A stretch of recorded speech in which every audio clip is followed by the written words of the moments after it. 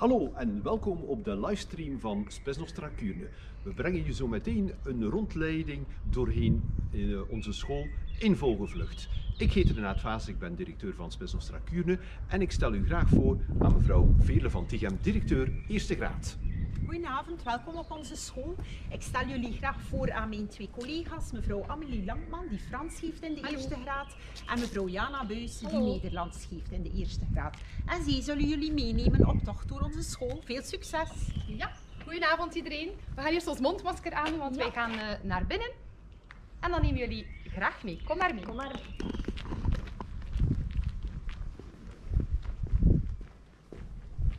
gaan binnen in ons schoolgebouw via de hoofdingang. Dan hebben we hier de A-vleugel, daar de B-vleugel, daar is ook het secretariaat en het onthaal. In de B-vleugel zit vooral de tweede en de derde graad, dus wij nemen jullie straks mee naar de A-vleugel voor de eerste graad. Als u volgend jaar bij ons in het eerste jaar zit, dan kan je eigenlijk kiezen tussen drie richtingen: Latijn, stem of moderne nieuwe stijl.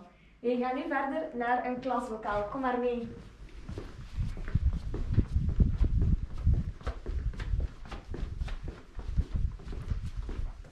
We nemen eens een naar hoe een klas in het eerste jaar eruit ziet. Een klas in het eerste jaar is ongeveer eh, allemaal 20 leerlingen. En je ziet, hier zijn ook achteraan zijn er eh, kastjes, want nu hebben jullie wellicht een, eh, een lessenaar om jullie gerei in te stoppen. Maar hier staan nu allemaal kastjes achteraan om dat op te bergen. Ja, inderdaad. Elk klaslokaal ziet er ongeveer hetzelfde uit. Wij hebben hier inkijk op onze speelplaats, onze eerste buitenklas en eigenlijk ook op ons sportveld. Dan gaan we een beetje verder. Ja. Naast hun kastjes achteraan in het leslokaal hebben ze eigenlijk ook hun eigen kapstok en eigen kluisje. Voor als zij lessen hebben die niet in de klas doorgaan, dat zij hun gerei hier kunnen leggen. Ja. We passeren ook de refter. Dit is de refter voor de boterhammeters. Je kan hier je eigen boterhammen meebrengen, maar je kan ook kiezen voor een warme maaltijd. En dat kies je eigenlijk voor een gans trimester. Dus Ja. zeg je, ik wil maandag boterhammen eten, dinsdag een warme maaltijd. Dat kan, maar dan houd je dat zo voor het ganse trimester. Ja, inderdaad. Een belegd broodje is ook mogelijk. Wij hebben hier ook een saladbar met allerlei groentjes. Dus daar kan je allemaal van genieten op onze school. En je ziet, wij komen al bijna uit op de speelplaats. Het is de speelplaats voor de eerste graad. Want inderdaad, jullie zitten nog apart. Jullie zitten nog apart van de tweede en de derde graad. Want nu zijn jullie de grootste op school, maar volgend jaar weer de kleinste.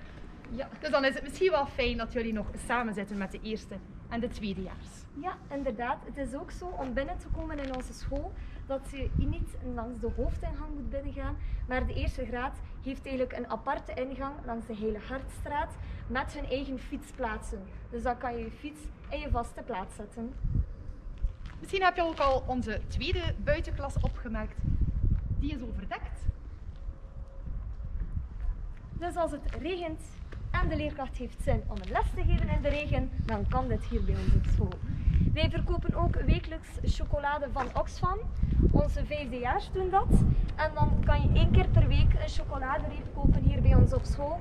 Hier in de caravan, dat is ons verkooppunt. Op de speelplaats heb je net het volleybalveld gezien, ook basketvelden.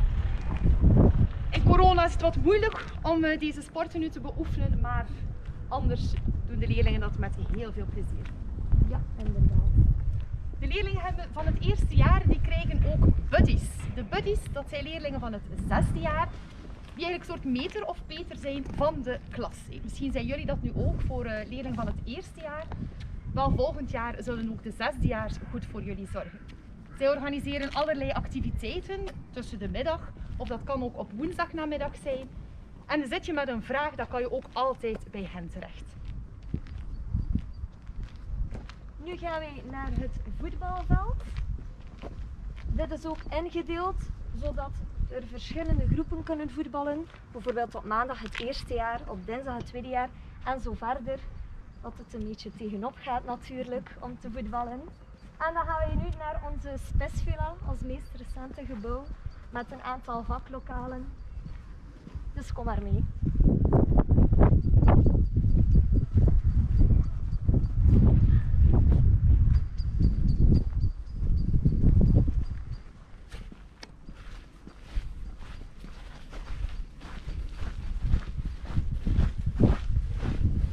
In de moet je zijn voor een aantal uh, specifieke vakken, zoals uh, beeld, stem. Maar er is hier ook een co-teaching klas daar nemen we je straks ook verder mee. Kom maar binnen in het beeldlokaal. Hier staan verschillende werkjes van het eerste en het tweede jaar. Dus je ziet, dat is allemaal vrij creatief. En de leerlingen vinden dat natuurlijk wel leuk om te doen. In elke richting hebben jullie beeld en dat hebben jullie twee uur per week afgewisseld met ICT. Ja, inderdaad.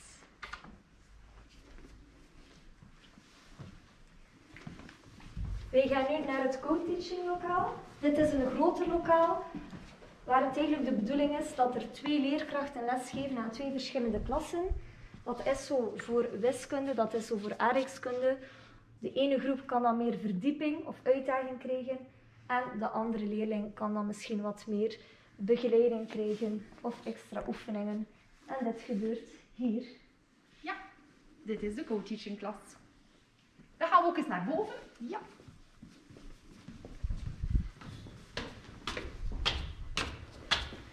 Volg je bij onze richting stem, dan zal je hier toch ook wel een aantal uurtjes goed doen.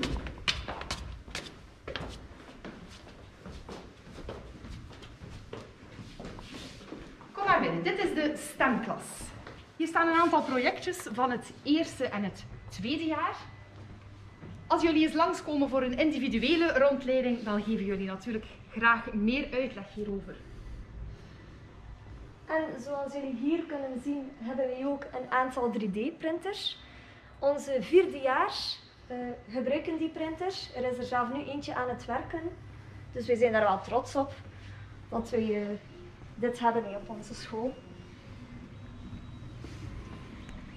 Stem kan je bij ons, net zoals eigenlijk alle andere richtingen, ook Latijn en modern nieuwe stijl, kan je bij ons volgen van 1 tot 6. Ja.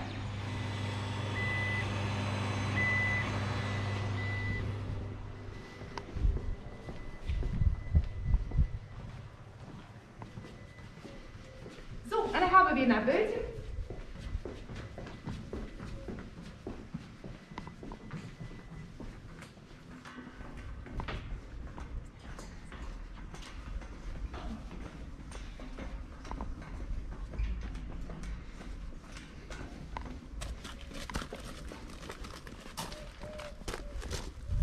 Kan ook op onze school kiezen voor avondstudie. Dit gaat door op maandagavond, dinsdagavond en donderdagavond van half vijf tot zes uur.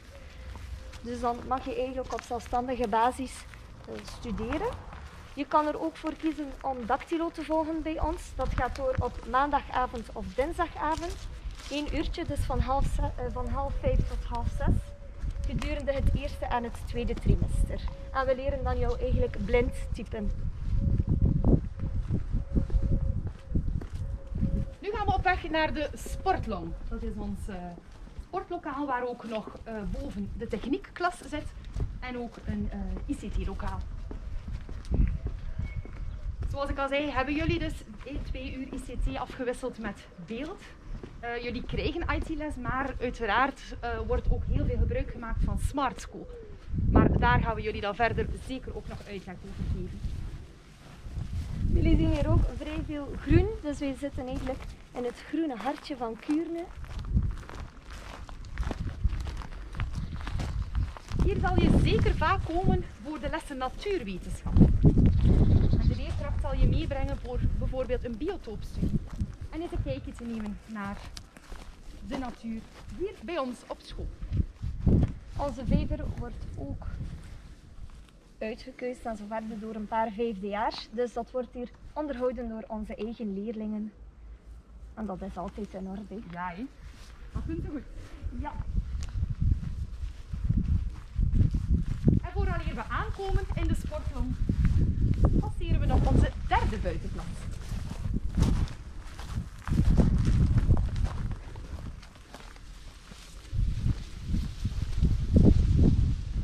Dus ook hier kom je om eens in de buitenlucht een les te volgen. Ja. Heel mooi weer, uiteraard. ja.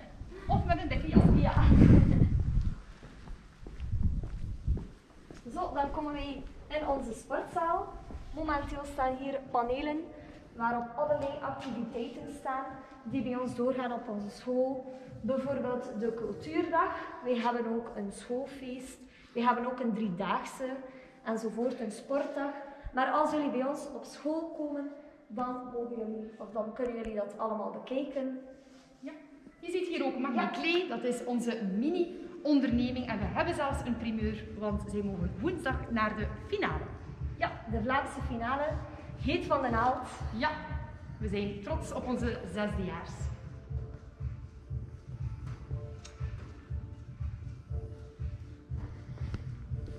En dan nemen we jullie nu mee naar ja, een gebouw dat Ja. we eigenlijk nog maar net bij onze school hoort. Het heet het SPES Forum. Het is helemaal nieuw en het wordt eigenlijk ook nog niet gebruikt, want er moeten nog heel wat renovatiewerken aan gebeuren. Maar we staan alvast te popelen om het te gebruiken. Ja, we gaan een mooie toekomst tegemoet.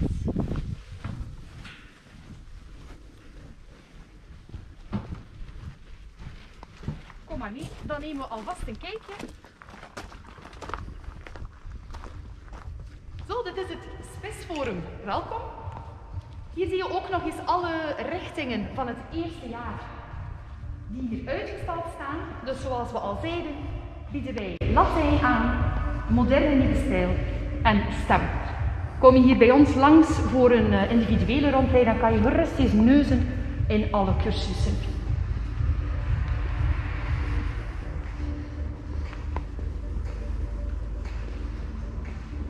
Als we dan al een kijkje gaan nemen naar het tweede jaar, dan kan je eigenlijk kiezen voor een bepaalde basisoptie. We hebben er vijf op onze school: economie en organisatie, klassieke talen, maatschappij en welzijn, moderne talen en wetenschappen en stemwetenschappen. Deze vakken krijgen jullie vijf uur in de week om eens te proeven van die bepaalde richting, waar jouw interesses liggen enzovoort. Maar dit is natuurlijk voor het tweede jaar. Je kan ook een kijkje nemen, er staan al verschillende projecten. En zoals ik al zei, starten we eind het jaar met de werken in het spesforum. En zo kan je al een beetje zien hoe het er zal uitzien. Hier komen dus ook weer negen klaslokalen. Er komt ook een eh refter en een polyvalente ruimte. We kunnen alvast niet wachten. Ja, inderdaad, met veel groen. Want dat typeert ook een beetje onze school natuurlijk. Hier nog enkele zaken die wij doen op onze school. Maar natuurlijk geven wij graag de uitleg als jullie kunnen langskomen natuurlijk. Dan gaan we nu weer terug waar, naar waar we begonnen zijn.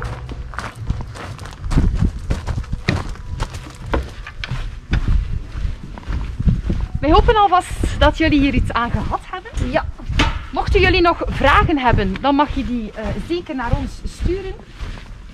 Je kan ook zeker een kijkje nemen op onze website www.spesnostra.be. En dan hopen wij natuurlijk jullie te zien volgend jaar. Jullie zijn zeker welkom. En wij zijn alvast laaiend enthousiast om jullie te ontvangen. Ja, bedankt alvast om te kijken. Hopelijk hebben jullie genoten van deze rondleiding. Voor alle informatie kan je naar onze site gaan www.spesnostra.be. En heb je een vraag, dan kun je dat altijd eh, naar ons toesturen via vraag.spesnostra.be. Vraag.spesnostra.be. Inschrijven kan ook nog via onze website www.spesnostra.be. Heel graag tot 1 september 2021. Tot ziens!